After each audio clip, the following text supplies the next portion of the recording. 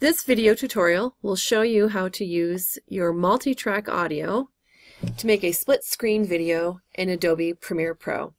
So begin by opening Premiere Pro and clicking on New Project. Go ahead and give it a title.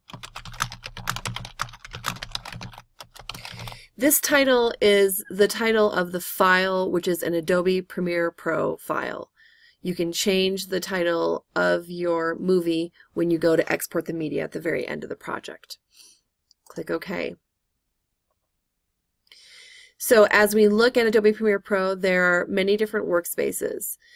The first one to concern yourself with is down here in the left corner, and that's where we want to import media to start. Go ahead and drop your, open your files into that workspace.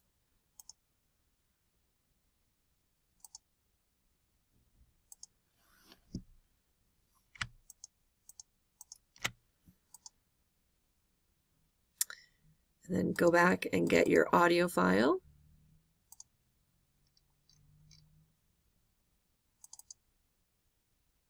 Okay, so we have the four video files and the one audio file. Next, we're going to drop the videos into our timeline workspace. Just grab it and drag it and drop it, and it will create, you'll see video tracks and audio tracks. For every video you place in, it will create an audio track. Now it begins you with three of each, but as you add more tracks, it will automatically create more tracks. You'll add the second and the third and fourth video right on top of these. And you can see the audio tracks and the four video tracks. And then your multi-track audio, we can drop right here. Uh, move that over to the end. You can go ahead and resize all these workspaces based on what you need. You can also toggle or zoom to make the tracks larger or smaller so that you can see everything you need to see. The first thing we want to do is make sure that we have the proper frame size. Sometimes when you upload vertical shots, as I have done here, it'll automatically make the frame size to match that file. We're going to change that frame size though to make a standard frame size that matches watching this on a TV or computer by clicking on Sequence, Sequence Settings. We want to have a custom editing mode and then we want that frame size to be 1920 by 1080 click OK, and you'll get a little warning that's just telling you that it's going to have to redraw this frame size. It's okay, click OK. All right, now we have the proper frame size for making a video to be watched on a TV or on a computer screen. Next, we want to start moving these videos around, and we're going to use a few different workspaces at this point. On my screen, you're seeing um, the individual workspace for the video that's present. You're also seeing the effects menu, which is over here.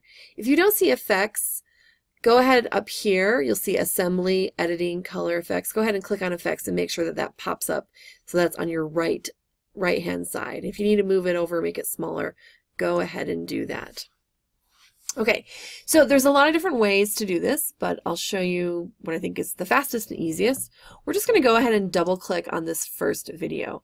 And you can see that you have all these nice um, resizing uh, measuring tools.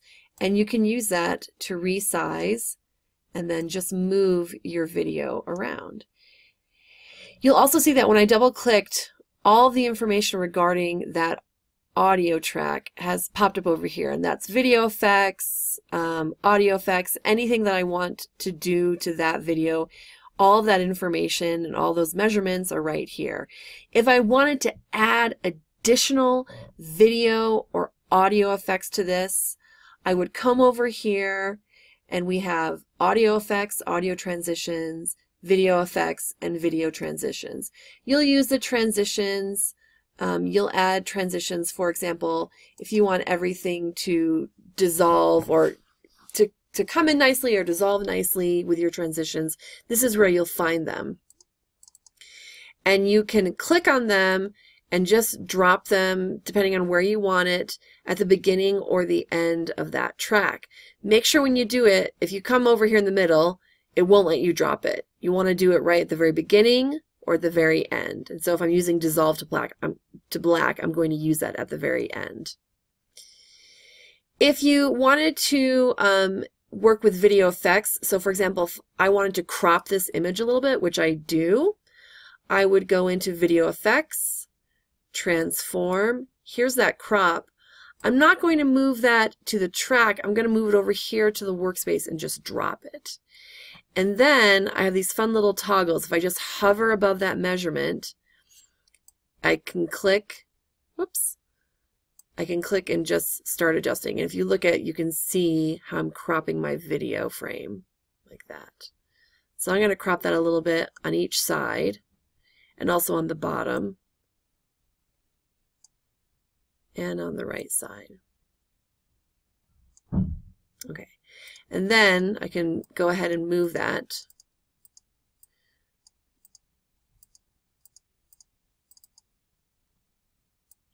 to wherever I want it on the screen. And then you'll do the same thing with each video. Double click it. If you wanted to, once you have it selected, you can change the position over here under video effects, motion, position and scale by using that toggle.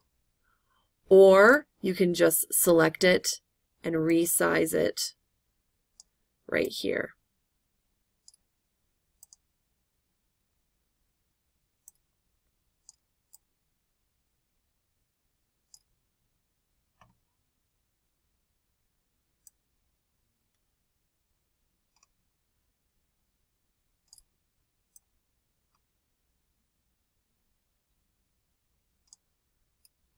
Again, I want to crop this video, so I'm going to grab crop over here, my effects, and drop it over here.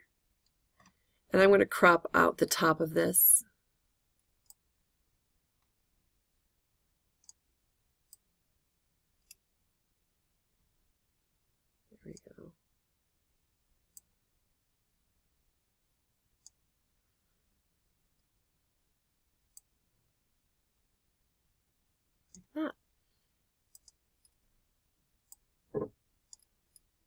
If you're not seeing all of your videos, you might just want to move the cursor over into the uh, program playback window.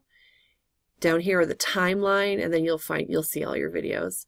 Double click that last one and move it and resize it.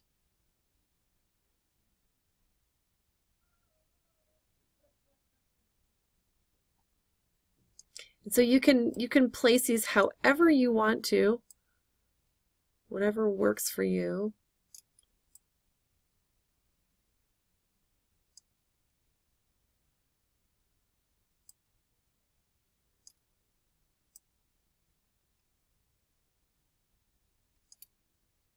Okay, so now I'm going to go back to these effects. I know that I want all of my video to um, dip to black. So now I'm going to go ahead and add that to each one, just dragging it over. You cannot select all the tracks and drop one effect and have it apply to all. It doesn't work.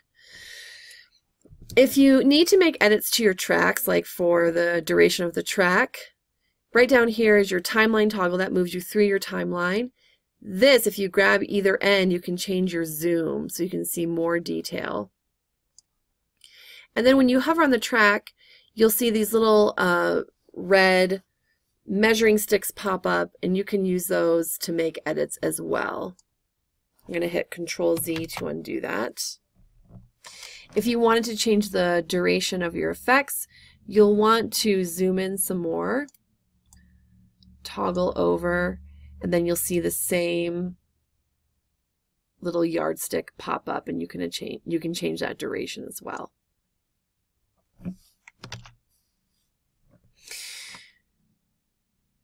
Okay, you can also trim your tracks if you need to do some editing or maybe you want to just really specify only one second of that track or however long for the duration. You can use this little razor blade right here. This is your razor tool. And when you come over, you make sure you're inside the track, get it to where you want it, and then just click. And then you can see you've created a break in the track. And so you could use your selection tool and select that and do just an audio effect there. You, you know turning down the audio turning up the audio doing an audio transition or a video transition whatever you want to do. If you don't want to do that to the entire video track you can just clip it and and just do one portion of it. I'm going to undo that with a control Z because I don't want to do that. Okay so now at this point I have my audio in it's muted from the video tracks. I have all my video um, coming out and dissolving to black. So the next thing I want to do is create a title. Now, if I wanted the title to be on a black on a black background, I could select all these tracks, including your audio, and move them as a group. So for however many seconds you wanted, let's say about three seconds. And you can watch your um, your time in the various measurements of time, both here and here.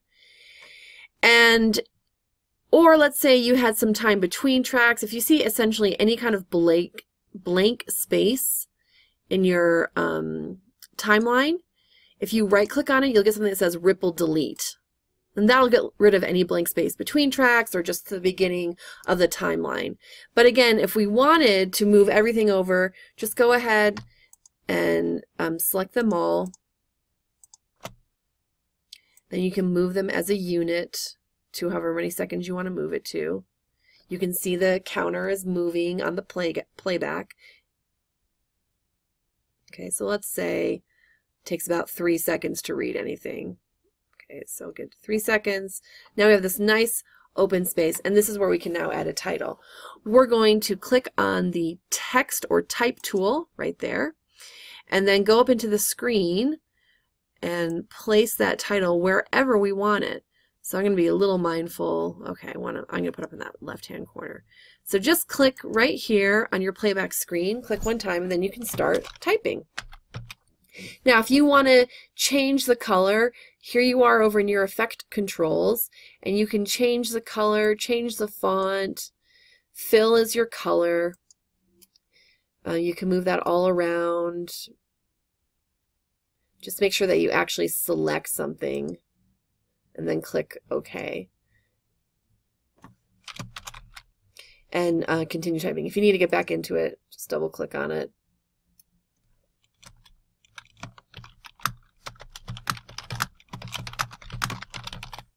Okay. And when you're done with that, if you need to move it, make sure you have your selection tool selected and then you can grab it and move it all over.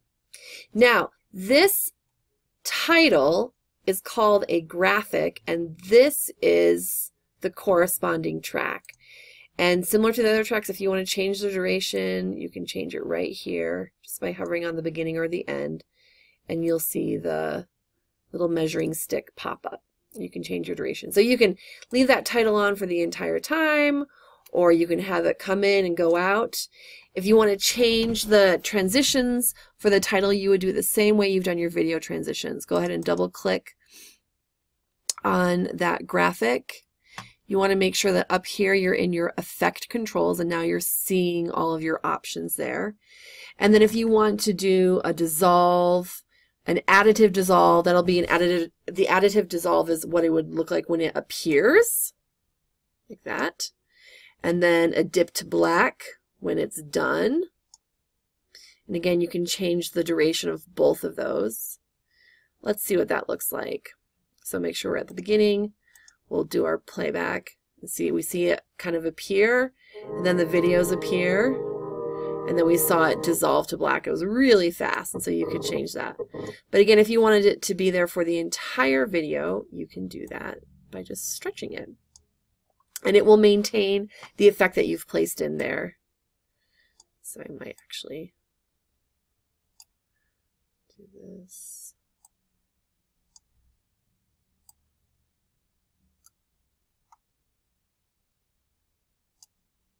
Okay. And so now actually when it plays back, I'll move my um, cursor right here we'll see the, the video go away and then the title will go away, which is kind of nice. Um, watch your audio meter if you need to adjust the volume on your playback. If you need to make edits to your audio, up here in your workspace, just make sure that you have the audio clip mixer selected and you'll see your different tracks. We want to make sure that we have muted all of the audio for our video tracks. We don't want to hear that. We only want to hear our multi-track. And so let's hear the playback.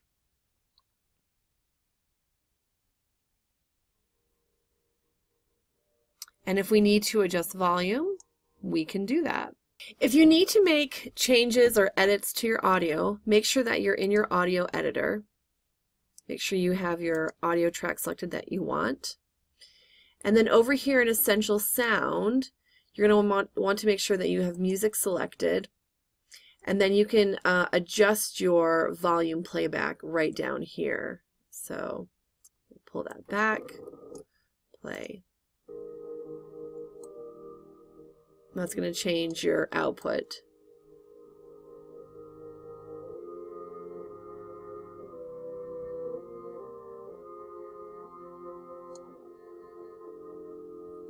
When you're done working with that audio, make sure you head back over to editing.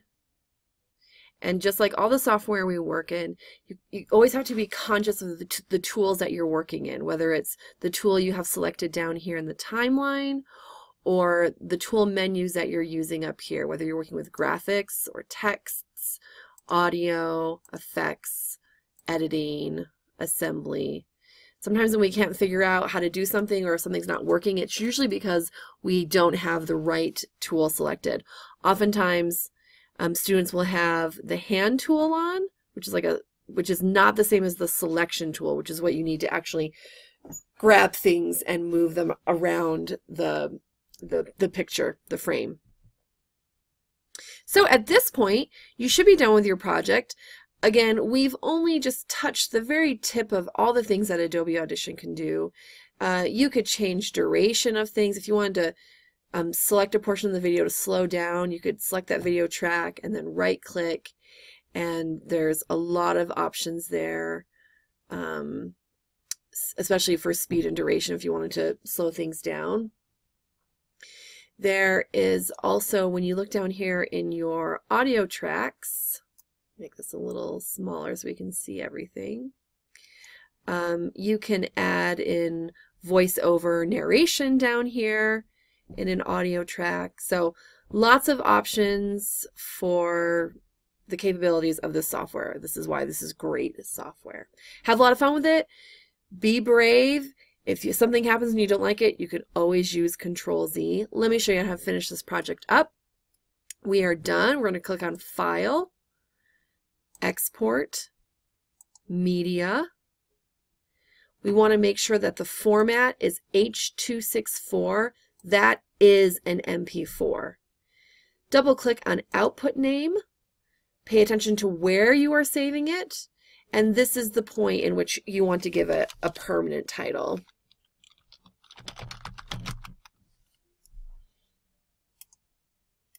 And then export.